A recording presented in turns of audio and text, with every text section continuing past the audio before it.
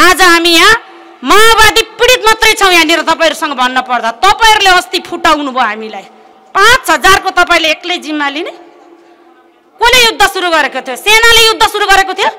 नेपाल प्रहरीले युद्ध सुरु गरेको थियो?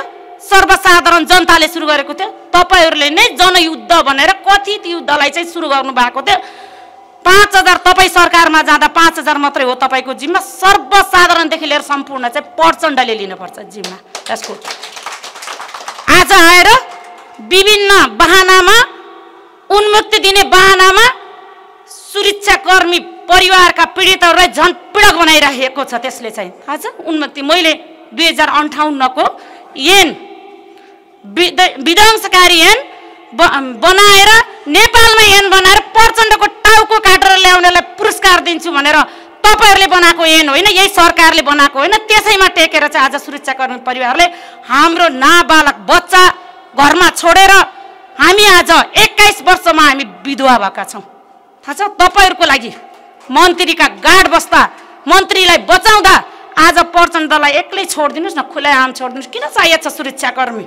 हँ यो देशको लागि किन चाहियो? छोडिदिनुहोस् खुलै आमहरूलाई चाहिँ आउन दिनुहोस् न रोडमा। हामी गर्छौँ हिसाब किताब। हामीलाई यदि यो विधेयकको र यो कानुनले यो म अहिले जान्दिनँ म कानुनको विद्यार्थी होइन पीडाले मलाई बनाएको छ अहिले यति बेला यो विधेयकमाथि चाहिँ त्यस्तो खालको सिङ्गो एक पक्ष आउँछ भने सम्पूर्ण द्वन्द पीडितको हकमा भन्छु मैले सुरक्षाकर्मी परिवारको हकमा मात्र होइन सबै द्वन्द पीडित परिवारहरू तपाईँहरू मन्त्री बन्नु भएको छैन तपाईँहरू चाहिँ सांसद बन्नु भएको छैन यो आज माओवादीका पीडित मात्रै हामी छौँ भने भोलि अरू पीडित पनि हामीसँग हातेमालो गर्न आउनुहुनेछ। यो फोरममा भन्ने मैले चाहिँ सम्पूर्ण पीडितहरूलाई आह्वान पनि गर्छु। तपाईँहरूले तपाईँहरू आज गङ्गामाया दिदी रुँदा मैले पनि मेरो श्रीमानको झझल्को आउँछ मलाई मेरो श्रीमानलाई पनि त्यसरी नै मारिएको थियो। महान चाड तिजको दिन एउटा महिलाले व्रत बस्ने बेला श्रीमानको लामो आयुको कामना गरेको बेला जब कुन युद्धमा हुन्छ त्यस्तो बेला कुन कानुन म वकिल साहबहरू यहीँ हुनुहुन्छ। त्यति बेला युद्ध सुरु हुन्छ वार हुन्छ। तपाईँहरूले अघि जेनेमा म जान्दिनँ त्यो सन्धि तपाईँहरूले सुनाइराख्दाखेरि छ। मलाई मुटु पोल्छ यहाँनिर। भन्नुहोस् आज। तिजको दिन युद्ध हुन्छ। मान चाडपर्व हुँदैन। महिलाले त्यति बेला कामना गरेको बेला तपाईँको श्रीमानबाट मेरो मानव अधिकार कहाँ गयो? मेरो बच्चाको मानव अधिकार कहाँ आयो म जस्ता हजारौँ सरी मैले म भन्दिनँ म जस्तै हजारौँ मानव अधिकार हनन भएको छ। म न मेरो श्रीमानले न्याय पाउने न मेरो बच्चाले पाउने न मैले त्यो दिन चाहिँ न्याय पाउने। त्यस कारणले गर्दा त्यही दिन मैले सिउँदो पखाल्नु परेको छ। त्यही लडाइँमा छु आज बि झन्डै सोह्र वर्ष भयो। जति उन्साठी सालदेखि सुरु गरेको आजसम्म यो लडाइँ त्यस कारणले गर्दा म यो के भन्न चाहन्छु भने प्रतिन प्रतिनिधि सभाका माननीय सदस्यज्यूहरू तपाईँहरूले भोलि टेबल हुने विधेयकमाथि चाहिँ ध्यानपूर्वक तपाईँहरूले चाहिँ यो विधेयकमाथि अध्ययन गरेर छलफल चलाएर सम्पूर्ण पीडितले एक एक बुदामाथि चाहिँ छलफल गर्न पाउनुपर्छ। हामीलाई तपाईँहरू बौद्धिक सर्कलले चाहिँ झुक्काउनु भएको छ। झुक्काइएको छ। मलाई के थाहा अस्ति मात्रै हामीले असारमा पच्चिस दिन आन्दोलन गरिसकेपछि विधेयक हामी त्यति बेला छलफल गर्न लैजानुहोस् भन्दाखेरि बल्ल बल्ल बल्ल बल्ल बल्ल गोविन्द बन्दीज्यू त त्यो छलफलबाटै उठ्नु भएको छ। मैले त्यति बेला रोकेको छु उहाँलाई चाहिँ। त्यस कारणले गर्दा अहिले पनि हिजो मात्रै काठमाडौँ प्रवेश गरेको हामीलाई पनि सुरक्षा छैन तपाईँहरूसँग भन्दाखेरि। आज आज जसले प्रचण्डको खुलेआम विरोध गर्छ त्यसलाई सुरक्षा छैन तपाईँहरू साथीहरू। त्यस कारणले गर्दा यदि गङ्गामाया आमाले अघि भनिसक्नु भएको छ यो न्यायको लडाइँमा हामी मर्न पर्छ भने पनि हामी आफ्नो ज्यानलाई आहुति दिन तयार छ। किन भन्दा सत्र वर्षसम्म श्रीमान नहुँदा प्रत्येक दिन हामी पनि मरेका छौँ। प्रत्येक दिन मरेका छौँ। त्यस कारणले गर्दा अब हिसाब किताब यदि शान्ति टुङ्गाउने हो भने यदि शान्तिलाई अन्त गर्ने हो भने हामीले पनि शान्ति चाहेको हो के? हिजो म अहिले यसरी नै भन्छु बन्दुक देखाइराख्नु भएको छ ब्रिगेड कमान्डरहरू यसरी नै भन्छु। उहाँहरूले बन्दुक खिया लागेको छैन प्रचण्ड आदेश दिए गरे। ए सेनाको हतियार चाहिँ खिया लागेको छ? मैले सेनालाई उचाल्न खोजेको होइन। अशक्त दाजुभाइहरू यहीँ हुनुहुन्छ। त्यसो भए त आइज सेना फेरि लडौँ भन्न खोजेको उहाँले बन्दुक देखाएर? मलाई त्यो दिन यति पीडा भएको छ। म क्वेसन गर्छु राज्यलाई गर्छु क्वेसन तपाईँहरूले बनाउँदै सेना परिचालन गर्ने। फेरि पनि प्रचण्डलाई आएर आइज भनेर पार्टीगत हिसाबले चाहिँ हामीलाई द्वन्द पीडितलाई धम्काएको हो भने तपाईँको बन्दुक मात्रै खिया लागेको छैन हाम्रा बन्दुकहरू पनि बिसाइएका छन्। सुरक्षा पूर्व सुरक्षाकर्मी परिषद पनि हामीसँग छ। हाम्रा श्रीमानसँग रगतका होलीका छिटा खेलेर माओवादीले बोकेर लगेका साथीहरूका अहिले पनि विश्राम गरेको हो त्यो बन्दुक। त्यस कारणले गर्दा यो कुरालाई चाहिँ कमजोर नसम्झिनुहोस् तपाईँहरूले। मैले अझै पनि तपाईँहरूलाई के भन्न चाहन्छु हामी शान्ति रोक्ने आमा हो म। आमा हो आमाले न्याय खोज्छ। हामीले त्यो अर्को पक्षलाई पनि हामीले हुने गरी न्याय चाहिँ ल्यास राज्यले मैले भनेको हामीले एकै माओवादीलाई तिरस्कार गर्न खोजेको होइन।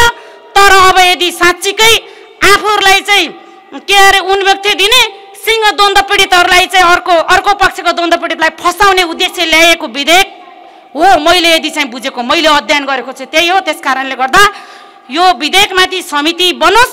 त्यो समितिमा प्रत्येक द्वन्द पीडितले प्रत्येक द्वन्द मेरो श्रीमानलाई किन मारिएको छ के कारणले मारियो किन बेपत्ता गरियो भन्ने अधिकार छ उहाँहरूले खोज्न पाउने। राज्यले राज्यले सूचना दिनुपर्छ हामीलाई। टिआरसीको उजुरी त्रिसठी हजार दुश्मनी गराउनलाई त्यहाँ सत्य निरूपण मेलमेला आयोगको कार्यालय भन्छु। मैले कार्यालय खोलेर नेता भन्छु मैले हाम्रो गोप्य उजुरी हामीले त्यहाँ दिएर आज राजनीति दललाई चाहिँ एउटा एउटा पाना पल्टाएर तपाईँहरूले भर्ती गरेको केन्द्रमा चाहिँ हाम्रा उजुरी छन्। हामी कति बेला मर्नुपर्छ भन्ने थाहा छैन। हामीलाई सुरक्षा छ। त्यो पोका कहाँ राखिएको छ? कसले हेरेको छ? त्यहाँ राजनीति दलबाट नियुक्ति गरेर पठाइएको आयोग छ त्यहाँनिर। त्यो आयोगमा भोलि सबैले हेर्नुभएको छ। अहिले आरएनजीलाई जुन धम्की आएको छ आरएनजीलाई जस्ता धम्की धेरै द्वन्द पीडितलाई आएको छ त्यस कारणले कारणले गर्दाखेरि चाहिँ त्यो सत्य निर्माण मेलमेल आयोगमा पठाइएको पोकालाई राम्रोसँग अध्ययन गरियोस् र त्यो हामीले सुन्न पाउनुपर्छ। कतिजनालाई अहिलेसम्म सत्य निरूपण मेलमुला आयोग गठन भइसकेपछि कतिजनालाई जेल पठाएको छ? कति डलर सिद्धियो भन्नुहोस् त ल। डलरको खेती गर्ने भन्ने द्वन्द अलिअलि टाठा माठा द्वन्द पिटेर त्यही आरोप लाग्छ कि अनावश्यकको हेर्नुहोस् है। त्यो आयोगभन्दा कति कर्मचारी पालिएको छ कति गाडी चढिएको छ कति मिटिङ बसिएको छ त्यो भत्ता साँच्चै तपाईँहरू भन्नुहुन्छ भने कठै द्वन्द पीडितलाई कहिले बोलाएर कसले दिनुभएको छ ल भन्नुहोस् त। कहिले दिनुभएको छ? तपाईँहरूलाई पनि आउन जाने तपाईँहरूको आवाज कस कसले दिनुभएको छ? कहिले राज्यले बोलाएर हामीलाई छलफल त प्रदेश स्तरको छलफल थोरै बाहना बनाएर माओवादीका पक्षका पीडितलाई छुट्टै छलफल बोलाइसकेपछि बल्ल हामीले सूचना पाइसकेपछि हामीले पच्चिस दिन आन्दोलन गरेको त्यति बेला तब विधेयक चाहिँ रोक्न सफल भएको हो त्यति बेला। हेर्नुहोस् त्यस कारणले गर्दा म समग्र न्यायकर्मीहरू समग्र पत्रकार बन्धुहरू लगायत बौद्धिक सर्कलका र बुद्धिजीवी सर्कललाई के भन्न चाहन्छु भन्दाखेरि चाहिँ हामीलाई जहाँ हाम्रा हामीलाई त्यति बेला मिडियाले म आज मिडियाहरूसँग पनि भन्न चाहन्छु। बाटाबाट बोलाइएको थियो। तपाईँहरू फर्किनुहोस् उहाँहरूको आवाज नगर्नुहोस् भनेर त्यस कारणले गर्दा नेपाली आमाको छोरा हो तपाईँहरू मिडिया। नेपाली आमाको छोरी हो मिडिया तपाईँहरू। त्यस कारण छातीमा हात राखेर हामीले बोलेका कुरा जस्ताका तस्तै प्रसारण गरिदिनुहोस्। तपाईँहरूले नडराउनुहोस् किन भन्दा हामीसँग त्यो पीडा छ त्यो भित्र चाहिँ। हामीले न्याय पाउनुपर्छ। हामीले न्याय पाउँदा यो देशमा शान्ति आउँछ। शान्ति आएपछि फेरि अर्को द्वन्द्व चर्किँदैन हामीले अर्को द्वन्द्व नचर्किन दिनको लागि यो चराइरहेको मलमपट्टिलाई न्याय होस् भन्नको निम्ति चाहिँ हामीले आह्वान गर्छौँ मिडियालाई र बौद्धिक सर्कलहरूमा। बुद्धिजीवी वकिलज्यूहरूलाई पनि के भन्छ भन्दा तपाईँहरू पीडितको लागि चाहिँ तपाईँहरूले चलाउने कलम सही ढङ्गले चलाइदिनुहोस्। हिजो तपाईँहरूले अध्ययन गरेको विषय भोलि ताकि तपाईँहरूलाई नि फेरि भोलि गाली गर्ने खालको चाहिँ त्यो कलम नचलाइदिन मेरो अनुरोध छ। त्यसले गर्दा आज गोविन्द बन्दीज्यूलाई हामीले सुझाव दिएका थियौँ। आउनुहोस् न तपाईँ छलफलमा बसौँ।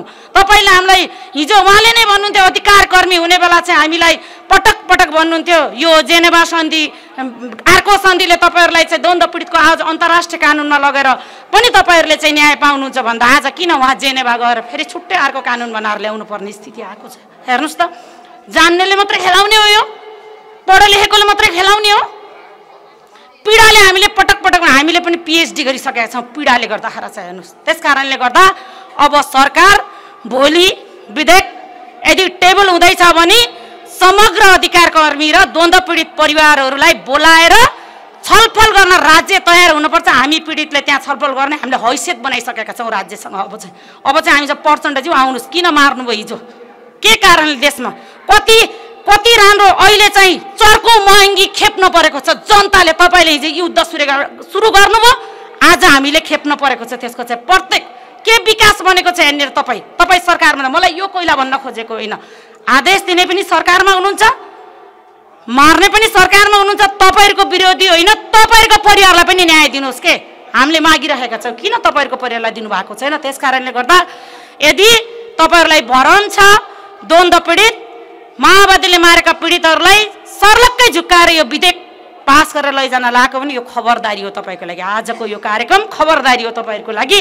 भोलि देशैभरि मैले यो चिया गफमा जम्मा भएको साथीहरू हो हामी चाहिँ। यो सामान्य चिया गफमा जम्मा भएको साथीहरू हो यदि हामीले त्यही खालको उतार्न पर्छ भने हामीले जन्माएको सन्तान हामीले बनाएका परिवार सबै यदि यहाँ उत्रिनु भयो भने तपाईँहरूलाई तपाईँहरूको यो सिंहदरबार हामीले हामी हामी त्यहाँ बसेर चाहिँ तपाईँहरूलाई चाहिँ त्यहीँ हामीले चाहिँ त्यो विधेयकमाथि चाहिँ हामीले जलाउने भनेका थियौँ। कानुनले जलायो भने कारवाही होला। हामीलाई चाहिँ विधेयक जलाउन आएको होइन।